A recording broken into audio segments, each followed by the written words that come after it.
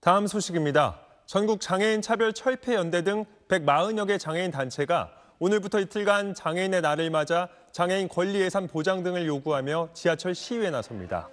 단체들은 오늘 오전 6시 4호선 삼각지역 승강장에서 시위를 시작하고 여의도 63빌딩 앞과 삼각지역 야외 무대, 서울시청 인근에서도 집회를 엽니다. 내일도 서울 도심 곳곳에서 지하철 시위를 벌인 뒤 서울시청으로 이동해 마무리 집회를 열 예정입니다.